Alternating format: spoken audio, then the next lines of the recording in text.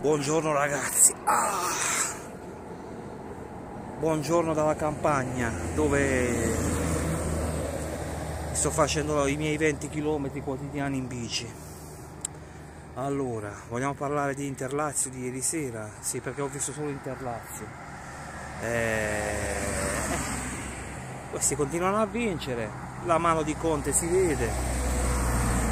È dalla prima partita che lo dico vincono una partita difficile perché quella di ieri è stata una partita difficile soprattutto nel primo tempo dove la Lazio ha avuto grandi occasioni da gol. E tanto per cambiare è stato decisivo quella bestia di portiere che hanno Andanovic che ho sempre detto quello è un portiere da 15-20 punti a campionato. Allora, sta passando una macchina. Allora stavamo dicendo Andanovic è un portiere che garantisce dai 10 ai 15 punti almeno a campionato. Ciò significa che è un, giocatore quasi decisivo come un grande attaccante. Aggiungiamoci che a parte qualche rischio che hanno corso nel primo tempo, qualche parata di Andanovic, la difesa subisce molto poco ed era prevedibile perché a De Vrij e Skriniar che già erano gamba e già erano buoni difensori si è aggiunto un campione come Godin. Questi non potranno che, che far bene in difesa. Ecco perché l'importante contro l'Inter è non prendere gol. E, sto, e so, parlo già in proiezione del big match che si giocherà fra due domeniche. L'importante con l'Inter è non prendere gol perché eh, questi hanno una, hanno una difesa veramente molto forte. È una fase difensiva veramente molto, molto efficiente.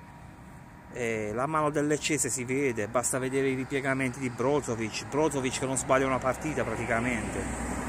Barella che sta crescendo Sensi sempre bravo. Lukaku si sbatte. Io ho sempre detto che Lukaku non è un fenomeno però ha il pregio che si sbatte lotta anche se in aria spesso è poco lucido in area Politano sta giocando bene Lautaro quando entra è sempre pericoloso eh, questa è una squadra con la quale bisognerà fare i conti quest'anno tenuto presente che il Napoli ha perso in casa 1-0 con il Cagliari. Il Napoli Napoli nel quale Ancelotti sta facendo la fine che fece a suo tempo Benitez. E quella è una piazza dove è difficilissimo vincere è difficilissimo. E forse i primi anni, gli anni di Cavani, di Lavezzi, sono riusciti a vincere un paio di Coppa Italia perché la piazza era ancora diciamo tollerante e paziente perché si veniva dalla Serie C si veniva da un certo tipo di campionati e le, le, i, i, successi di Mazzari erano tutto grasso che colava, gli veniva, gli veniva perdonato tutto. Adesso Lancellotti, come prima Benitez, non perdonano niente. Com'è? È chiaro mi, sembra sia chiaro il concetto, anche perché dopo anni a vertice a Napoli vogliono vincere. E qui non è una bella cosa e il numero degli abbonamenti netto calo lo sta a, testimoniare. Ma torniamo all'Inter torniamo all'Inter. Eh, signori le... inutile dire che sarà decisiva la partita Inter-Juventus che se questi non sia mai vincono lo scontro diretto a... da... a loro si apre un bivio. O crollano come nell'anno di Stramaccioni, quando vennero a vincere a Torino 3-1 e sembravano lanciatissimi, ma giorno, la domenica dopo persero a Bergamo e di lì cominciò il tracollo. O crollano, oppure questi lottano fino alla fine. Non penso che riusciranno a staccare più di tanto la Juventus, anche se dovessero vincere perché sarà lotta fino alla fine e sinceramente guardando le rose non so se, dove, se reggono anche perché a differenza della prima Juve di Conte loro hanno anche la Champions e non penso che arrivino dietro lo Slavia Praga giro, nel girone di, di Champions anche se dovessero essere eliminati quindi gli toccherebbe fare l'Europa League. Eh, hanno una rosa un po' più corta, però se la giocherebbero fino alla, fino alla fine se dovessero vincere. Se dovessero perdere, paradossalmente, verrebbero sgravati da responsabilità, secondo me farebbero eh, o perdere o pareggiare, verrebbero ulteriormente sgravati da responsabilità e secondo me continuerebbero a fare un ottimo campionato e arriveranno secondi. Perché per me arrivano davanti al Napoli. E il Napoli è più forte dell'Inter ma a Napoli c'è una situazione ambientale non, non delle migliori. Sì hanno battuto il Liverpool perché la squadra ce l'hanno.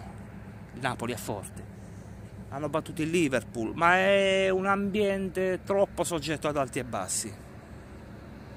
E di riflesso anche la squadra. L'Inter è in fase di costruzione, per carità ha una grossa squadra nei titolari, nei prossimi anni, vuoi perché la Juventus, alla Juve ci sarà un ricambio generazionale, vuoi perché loro comunque continueranno pian piano a rinforzarsi, sarà, saranno decisamente in lotta per lo scudetto. Quest'anno staremo a vedere, quest'anno meno del terzo posto non fanno, anzi secondo me sul secondo posto se la giocano col Napoli, io dico che sono al 50%. E se dovesse, in caso di debacle Juve, adesso dico la mia, io vedo meglio l'Inter. Nel caso la Juve dovesse crollare, io vedo meglio l'Inter per lo scudetto che il Napoli sarà per tradizione, sarà perché Conte sa vincere gli scudetti, sarà per quel che ho detto prima, per l'ambiente di Napoli, ma se la Juve dovesse crollare, secondo me c'è l'Inter, poi non lo so. Io vi auguro un buon giorno, invitandovi ancora una volta a iscrivervi, a iscrivervi al canale. Allora, eh, poi sono in debito dei video sui campionati esteri che farò e sull'NFL che farò penso in giornata ciao